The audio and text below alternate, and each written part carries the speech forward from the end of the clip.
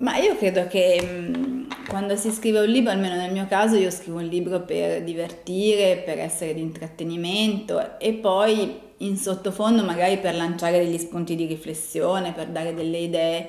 Quindi questo è sicuramente il mio obiettivo secondario. Mm, uno scrittore ha secondo me un obbligo di assoluta onestà nei confronti del suo lettore, dei suoi lettori, quindi se scrivi gialli che siano gialli onesti, dove tu dai tutti gli elementi per scoprire il colpevole, se scrivi un romanzo rosa eh, che sia un, un romanzo insomma, che, che, rispetta un po' le regole del genere, eh, di non lasciare no, de, de, dei fili che non si riannodano alla fine, proprio quindi mm, un dovere nel senso proprio come mestierante. E se poi riesci appunto a fare un lavoro anche mm, più uh, in profondità, insomma, più uh, insomma, sì, andare più in profondità, benissimo.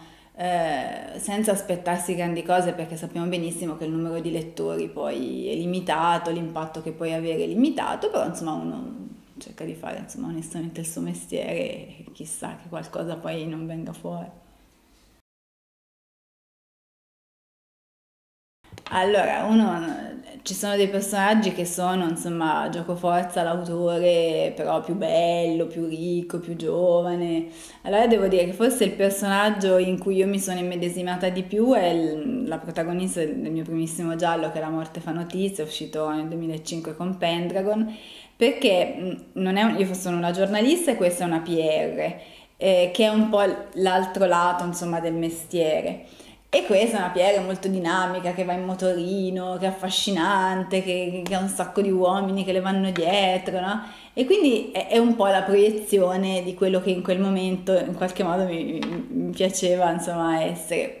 Un altro personaggio che sicuramente insomma, molti elementi che, che invidio è la Rebecca Ramones che è la protagonista di Uomo Giusto Cercasi, proprio per questo respiro internazionale, no? il, il, fatto di, di, di, poter girare l'Europa, di conoscere tante lingue, di avere, lei ha un fidanzato italiano, eh, la mamma finlandese, il papà spagnolo, il suo migliore amico finlandese, cioè no? ha proprio questa multiculturalità che, che le invidio che forse sarà proprio insomma, de, delle generazioni future.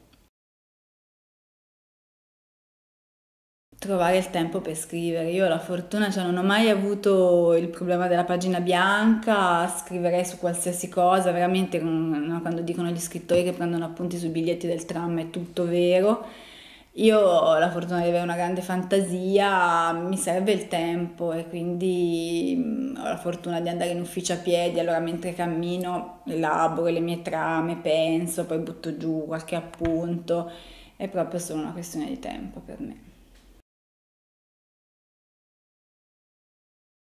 E cambia completamente, infatti c'è la mia produttrice che è una giovane produttrice di pescare che è preoccupatissima perché teme insomma la mia reazione proprio nella diversità di questa trasposizione, però io mi rendo perfettamente conto che una cosa è un romanzo di 300 pagine e una cosa è una fiction di 50 minuti. Devi fare delle scelte, devi sacrificare dei personaggi, è una scrittura completamente diversa e soprattutto devi raccontare, imparare a raccontare con le immagini. E quindi sì, è proprio un'altra cosa, no?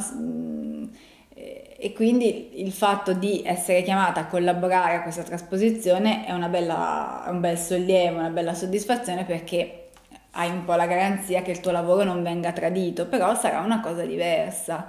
E quindi è l'idea di in qualche modo avvicinare al tuo lavoro, alla tua scrittura, al tuo personaggio e poi chi vorrà approfondire, insomma, si leggerà i romanzi, questo speriamo.